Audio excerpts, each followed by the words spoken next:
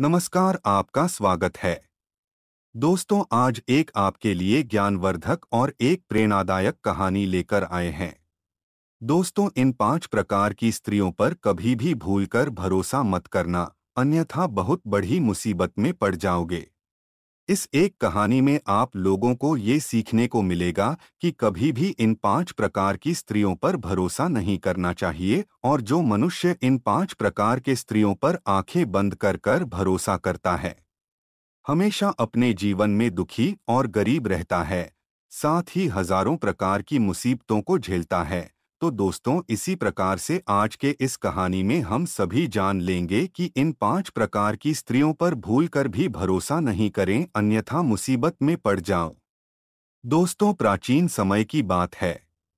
एक नगर में एक गरीब अंगद नाम का साधु रहा करता था।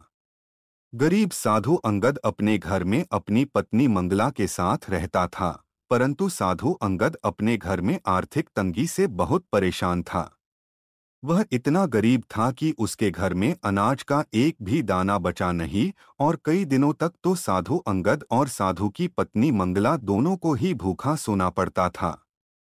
दोस्तों, इस तंगी की वजह से गरीब साधु काम के सिलसिले में नगर की ओर चलता गया, परंतु उसे कोई काम भी नहीं मिला। फिर एक दिन की बात है। साधु अंगद नगर के मंदिर के चौरह पर रात्रि होने कारण सो गया। लेकिन थकान के कारण वह सुबह बहुत देर तक सोया और उसके सपने में एक नगर से कई मीलों दूर एक तालाब दिखता है और वह तालाब एक जादुई तालाब है। अगर उस तालाब के निकट जाकर आप कुछ भी मांगोगे तो वह तालाब आपको लाकर देगा। दोस्तों, जब अंगद जग उठा उसे वह सपना सच लगा और वह नगर से कई मीलों दूर तालाब की ओर जाने लगता है। और तालाब के निकट जाकर उस तालाब से विनती करने लगता है, और फिर कुछ समय बाद उस तालाब के अंदर से एक देवता प्रकट होते हैं, और फिर देवता प्रकट होते ही वह साधु अंगद उस देवता को अपनी पूरी बातें बताता है। अपने पूरे जीवन में आर्थिक तंगी या चल रही होती है। तालाब के देवता उसकी बातों को सुनकर भावुक हो जाते हैं, और तालाब में से मैं प्रकट हुए देवता साधु अंगद को एक शंख देते हैं और कहते हैं कि ये जादू मैं तुम्हें शंख देता हूँ और इस शंख को तुम अपने घर में ले जाकर इसे जो भी मांगोगे तुम्हें दे देगा, परंतु ये शंख तुम्हें हर दिन केवल पाँच सुवर्ण मुद्राएँ से ज़्यादा नहीं देगा। दोस्तों, इस प्रकार फिर वह साधु अंगद उस तालाब के देवता से शंख प्राप्त करके अपने घर की ओर वापस लौटने लगता है और लौटते लौटते शाम हो जाती है। और जैसे ही शाम का समय होता है, वो साथ सोचने लगता है कि अभी बहुत रात हो चुकी है और रात के समय चलना मतलब शैतान का काम होता है। इसलिए मुझे आप कहीं न कहीं रुक जाना ही चाहिए। विश्राम करना चाहिए, फिर जैसे ही अंगद देखता है तो उसे एक पास में ही एक हवेली दिखाई देती है। दोस्तों, वो हवेली एक जमींदार की होती है। और फिर उस हवेली के दरवाजे पर जाकर जैसे ही मैं गरीब साधु अंगद उस हवेली के दरवाजे को बचाता है तो वहाँ से उस हवेली का मालिक जमींदार आता है और जमींदार अपने घर के मुख्य द्वार पर साधु को देखकर बहुत प्रसन्न होता है और उनका आशीर्वाद प्राप्त करता है। उसके बाद में अंगद साधु महाराज उस जमींदार से कहते हैं कि, जमींदार जी, मैं बहुत दूर से आया हूँ और मुझे बहुत दूर जाना है। इसलिए अभी रात्रि बहुत हो चुकी है तो मैं आपसे यह विनती करता हूँ कि आज रात मुझे यहाँ रुकने दीजिए, सुबह होते ही मैं यहाँ से निकल जाऊँगा। दोस्तों, ये सुनकर वे जमींदार बहुत प्रसन्न होते हैं, और ये कहने लगता है कि ये महाराज हमारे धन्य भाग जो आज एक साधु संत की सेवा करने का मौका मिला है। यह कहकर जमींदार रमेश और उसकी पत्नी मीना साधु को अंदर बुला लेता है। उसी समय साधु अंगद को यह महसूस होता है कि जमींदार की पत्नी मीना का चाल चलन ठीक नहीं है। और उसके बावजूद जमींदार रमेश और उसकी पत्नी उस साधु अंगद की खूब सेवा करने लगते हैं और जैसे ही रात्रि होने लगती है तो साधु जमींदार से कहता है कि जमींदार जी अभी शाम हो रही है और मुझे पूजा करनी है तो मैं आपसे विनती करता हूँ कि आप मुझे पूजा के लिए थोड़े से फूल लाकर दीजिए। दोस्तों, फिर साधु की बात सुनकर वह जमींदार रमेश अपनी हवेली की दूसरी कक्ष में फूल लेने के लिए जाता है तो गरीब साधु सोचने लगता है कि अभी मेरे पास मौका है। क्यों न मैं उस तालाब में देवता के द्वारा दिए गए उस शंख का प्रयोग करूँ? क्या सच में ये सुवर्ण मुद्राएँ देता है? साधु अंगद अपने कक्ष से बाहर जाकर देखता है कि जमींदार रमेश और उसकी पत्नी मीना बाहर चुपके से देख न ले। फिर साधु शंख का प्रयोग करता है तो उसे वह शंख पाँच सुवर्ण मुद्राएँ देता है। ये सारी घटना को वह जमींदार रमेश और जमींदार की पत्नी मीना दोनों ही छुपकर देख रहे होते हैं। उसके बाद में जमींदार सोचने लगता है कि जब ये साधु हमारे घर में पहली बार यह कक्ष में आए थे, और जब इन्होंने इस शंख को बहुत संभाल कर रखा था। तभी मैं समझ गया था कि कुछ ना कुछ तो खास बात है इस शंख की। दोस्तों, उसके बाद में वो जमींदार के मन में लालच आ गया था और जमींदार सोचने लगता है कि आज कैसे भी करके मुझे इस शंख को प्राप्त करना है। अगर ये शंख मुझे प्राप्त हो जाएगा तो मैं बहुत बड़ा आदमी बन जाऊँगा। इस पूरे नगर में सबसे अमीर आदमी बन जाऊँगा। उसके बाद में वह जमींदार रमेश उस साधु अंगद को फूल लाकर देता है और साधु पूजा करता है और फिर साधु को भोजन खिलाकर वे सभी सो जाते हैं और साधु उस शंख को अपने सिरहाने रख लेता है। दोस्तों, जैसे ही मध्य रात्रि का समय होता है तो वह जमींदार और उसकी पत्नी अपना एक सादा शंख लेता है, यानी कि एक साधारण सा लेकिन उसी जादुई शंख जैसा दिखने वाला शंख लेता है। उसे साधु के सिरहाने रखकर और उस साधु के चमत्कारी शंख को हासिल कर लेता है। जैसे ही सुबह का समय होता है तो साधु अपना शंख समझकर उस साधारण शंख को उठाकर उस जमींदार के घर से अपने नगर की ओर बढ़ने लगता है और फिर अपने घर में जाकर अपनी पत्नी के पास जाता है। और पत्नी मंगला के पास जाकर बहुत प्रसन्न होने लगता है और दोस्तों उधर वो जमींदार और उसकी पत्नी अपने छल से उस जादुई शंख को प्राप्त कर बहुत प्रसन्न होते हैं और सोचने लगता है कि अब मैं शंख की पूजा करूँगा और इस शंख से अधिक धन प्राप्त करूँगा और इस पूरे नगर में सबसे धनवान हो जाऊँगा। दोस्तों उधर वो गरीब साधु अपनी पत्नी को सारी बातें बताता है और फिर उस गरीब साधु अंगद की पत्नी मंगला। साधु से कहती है कि अगर ऐसी बात है तो जरा मुझे बताओ सच में ये क्या सुवर्ण मुद्राएँ देता है। तो जैसे ही वो साधु अंगद उस शंख से मुद्राएँ मांगने लगता है तो उसे वो कुछ भी नहीं देता है, क्योंकि उस जमींदार ने उसे साधु के जादुई शंख से उस साधारण शंख को बदल दिया था। दोस्तों, यहाँ जब वह साधु उस शंख से पैसे माँगता है तो उसे कुछ भी नहीं देता है। और जब दूसरी ओर वे जमींदार उस शंख की पूजा करता है, शंख से धन माँगता है तो उस जमींदार को खूब धन मिलने लगता है। उसके बाद में साधु अंगद उस शंख को बजा बजाकर परेशान हो जाता है।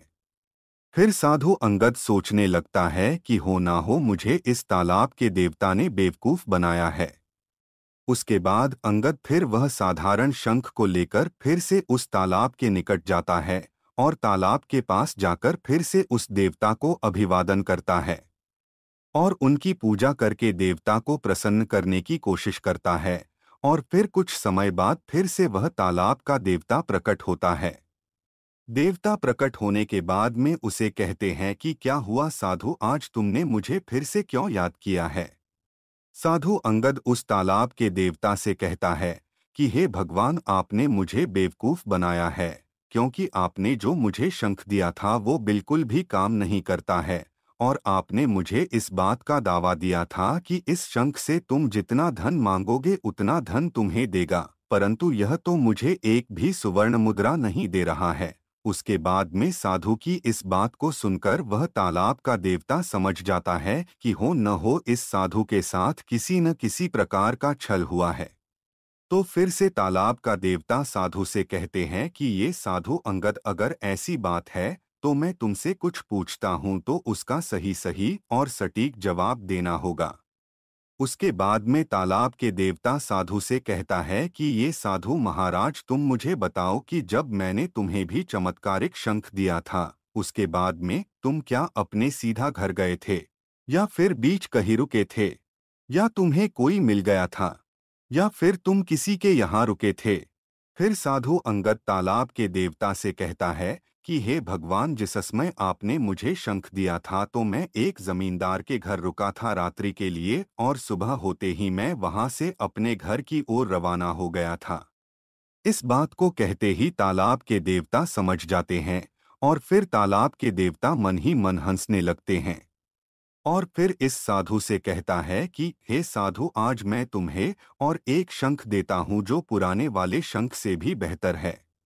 तुम इस शंख को अपने साथ लेकर जाओ और उसे ही जमींदार के घर रात्रि में ठहरो, क्योंकि उसी जमींदार ने तुम्हारे इस चमत्कारिक शंख को चुराया है। ये कहते ही मैं साधु समझ जाता है और उसके बाद में बस तो वहाँ से चलने लगता है और उस जमींदार के घर पहुंचकर फिर से उस जमींदार के मुख्य द्वार पर जाकर दरवाजे को बचाने लगता है और जैसे ही वो जमींदार निकलकर आता है तो साधु फिर से उस दिन की तरह रात्रि के लिए वहाँ पर रुकने का विनती करने लगता है। जमींदार के साथ साथ उसकी पत्नी भी आई थी और जैसे ही साधु उसकी पत्नी की ओर देखता है तो पत्नी को देखकर साधु समझ जाता है कि जमींदार के जो पत्नी है, ये पत्नी इसके चरित्रहीन है क्योंकि जमींदार की मैं पत्नी उस साधु को बार बार देखे जा रही थी और साधु उसे देखकर समझ चुका था कि उसकी पत्नी का चाल चलन ठीक नहीं और अगर मैं इसका फ़ायदा उठाकर अपने शंख को प्राप्त कर लूँ तो ठीक रहेगा। उसके बाद में वह जमींदार उस साधु स्वागत करते हैं, इस बार अलग से स्वागत करने लगते हैं और फिर जैसे ही रात्रि का समय होता है तो वह साधु अंगद जमींदार की पत्नी मीणा के पास जाता है और जमींदार की पत्नी मीणा से कहता है कि मैं तुमसे बहुत प्रेम करता हूँ और मैं तुमसे मिलने के लिए रोज आया करूँगा, परंतु तुम्हें मेरा एक काम करना होगा। उसके बाद साधु कहता है कि अभी मैं कुछ समय बाद पूजा करने वाला हूँ तो पूजा के समय तुम्हारे पति को मेरे पास बिठाना है। उसके बाद फिर कुछ क्षण बाद जब वह साधु पूजा करने लगता है तो उसकी पूजा करते समय में जमींदार उस साधु के पास जाकर बैठ जाता है और फिर साधु जब उस तालाब के देवता के द्वारा दिए गए बड़े शंख को निकालकर उस शंख से कहता है कि मुझे पाँच सुवर्ण मुद्राएँ चाहिए तो वह शंख कहता है कि पाँच क्यों? दस मांगो। दोस्तों फिर दस सुवर्ण मुद्राएँ माँगता है तो कहता है कि दस क्यों? बीस मांगो, फिर वो बीस सुवर्ण मुद्राएँ माँगता है तो शंख कहता है कि बीस ही क्यों? चालीस सुवर्ण मुद्राएँ मांगो। इस प्रकार जब वह साधु शंख से कुछ भी माँगता तो शंख उस संख्या को बढ़ाकर मांगने को कहता। फिर साधु उस शंख से कहता है कि चलो अभी मुझे कुछ नहीं चाहिए, मैं कल अपने घर जाकर मांग लूँगा। उसके बाद में मैं जमींदार इस पूरी घटना को वहीं पर बैठे बैठे देखता है तो जमींदार सोचने लगता है कि अरे ये शंख तो उस पुराने वाले शंख से भी ज़्यादा चमत्कारिक है, क्योंकि वह शंख तो केवल एक दिन में पाँच सुवर्ण मुद्राएँ ही देता है, और यह शंख एक दिन में बीस सुवर्ण मुद्राएँ मांगने को कहें तो चालीस को कहता है। फिर इस बड़े शंख को देखकर उस जमींदार के मन में लालच पैदा हो जाता है और जैसे ही रात्रि का समय होता है, वे जमींदार उस पहले वाले शंख को उठाता है और उस साधु के पास जाकर उस बड़े शंख को उठाकर उसके पास पुराने वाले शंख को रख देता है और बड़े शंख को उठाकर अपने घर में छुपा देता है। जैसे ही सुबह का समय होता है तो वे साथ अपने उस असली पुराने देने वाले शंख को उठा लेता है। और समझ जाता है कि जो होना था वो हो गया है, और उस पाँच सुवर्ण मुद्राएँ देने वाले शंख को उठाकर मन ही मन हंसता हुआ अपने घर आ जाता है। घर जाकर अपनी पत्नी से कहता है कि, भाग्यवान, आज मैं एकदम असली और चमत्कारिक शंख लेकर आया हूँ। उसके बाद में जैसे ही वह साधु अंगद उस शंख को वहाँ पर पत्नी मंगला के पास जाकर बजाता है तो वह शंख वास्तव में पाँच सुवर्ण मुद्राएँ देने लगता है और जब उधर जमींदार उस साधु से बड़े शंख को चोरी कर खुशी होता है, जब उस शंख को बजाता है तो उसे दस सुवर्ण मुद्राएँ मांगने को कहता है तो वो शंख जमींदार से कहता है कि दस क्यों बीस मांगू, जब बीस मांगने को कहता है तो शंख कहता है कि बीस क्यों? चालीस मांग और जब चालीस मांगने को कहता है तो शंख कहता है कि चालीस क्यों? अस्सी मांगो। दोस्तों, इस प्रकार में जमींदार माँगता माँगता थक जाता है और शंख जितनी भी संख्या जमींदार को बोलता, उसे बढ़ाकर बोलने को कहता और उसके बाद में वह जमींदार समझ जाता है कि हो ना हो, यह उसी साधु का कोई करतूत है। उसी ने मुझे बेवकूफ़ बनाया है दोस्तों, उसके बाद में। फिर उस जमींदार की पत्नी जमींदार के पास आती है और जमींदार से कहती हैं कि आपकी लालच के कारण या आपके हाथों से मैं पाँच सुवर्ण मुद्राएँ देने वाला भी जा चुका है। उसके बाद में मैं जमींदार बहुत दुखी होता है और इस बात को समझ जाता है कि जीवन में कभी भी लालच नहीं करना चाहिए। दोस्तों, इस कहानी में केवल उस जमींदार रमेश का ही दोष नहीं है। उसकी पत्नी मीना का भी दोष है। क्योंकि उसकी पत्नी को अपने पतिवर्ता होने का व्रत नहीं तोड़ना चाहिए और अपने पति होने के बावजूद भी उस साधु के प्रेम में नहीं पड़ना चाहिए। वह जमींदार रमेश की पत्नी मीणा उस साधु अंगद की माया भी प्रेम में पड़कर उसे सारी बातें बता देती है और उसकी पत्नी मीणा की मदद लेकर वह साधु अंगद उस जमींदार रमेश को बेवकूफ़ बनाया गया। परंतु दोस्तों, इन पाँच प्रकार की स्त्रियों पर कभी भी भूलकर भरोसा नहीं करना चाहिए। अगर आप इन पाँच प्रकार की स्त्रियों पर भरोसा करते हैं तो आपकी हालत उसी तरह हो जाएगी। जिस तरह इस जमींदार की हुई थी, दोस्तों, पहली कभी भी पूजा पाठ न करने वाली स्त्री पर पूर्णता से भरोसा नहीं करना चाहिए। क्योंकि जो मनुष्य पूजा पाठ न करने वाली स्त्री पर भरोसा करता है, वो हमेशा कहीं ना कहीं धोखा खाता है। क्योंकि जो स्त्री अपने कर्म धर्म पर विश्वासन रखती हो या किसी देवी देवता को न मानती हो, उसके होने से घर में अशांति रहती है। यानी कि जो स्त्री किसी देवी देवता को न मान सके तो भला आपको क्या मानेगी? इसलिए कभी भी जो इस तरह पूजा पाठ ना करती हो, उस पर भरोसा नहीं करना चाहिए। दोस्तों, दूसरी बार जो स्त्री दिखने में चरित्रहीन जिसे स्त्री का चालचलन खराब हो, उस स्त्री पर कभी भरोसा मत करना। क्योंकि वह स्त्री भरोसे पात्र नहीं होती और उस पर भरोसा करते हैं तो हमेशा धोखा ही मिलता है। फिर तीसरी बात, ऐसी स्त्री पर कभी भरोसा नहीं करना चाहिए, जो इस तरह आपके सामने होते हुए भी किसी अन्य पुरुष की बधाइयाँ करती और अन्य पुरुष की बातें करती। ऐसी स्त्री पर कभी भी भरोसा नहीं करना चाहिए। चौथी बात, जो स्त्री मदिरा आदि का सेवन करती हो या फिर किसी भी प्रकार का नशा करती है। उस स्त्री पर कभी भी भरोसा नहीं करना चाहिए, क्योंकि अगर आप उस स्त्री पर भरोसा करोगे तो वह स्त्री आपको कभी भी मुसीबत में डाल सकती है। और फिर ये पांचवी, आखिरी बात बात पर रोने वाली स्त्रियों पर कभी भरोसा नहीं करना चाहिए, क्योंकि जो मनुष्य बात बात पर रोने वाली स्त्रियों पर भरोसा करता है, फिर हमेशा से ही उस भरोसा में धोखा खाता है। दोस्तों, इस प्रकार, इन पाँच प्रकार की स्त्रियों पर कभी भरोसा नहीं करना चाहिए तो उम्मीद करते हैं, दोस्तों, आपको एक ज्ञानवर्धक और प्रेरणादायक कहानी पसंद आई होगी। ये कहानी आपको कैसी लगी, हमें कमेंट बॉक्स में ज़रूर बताएगा।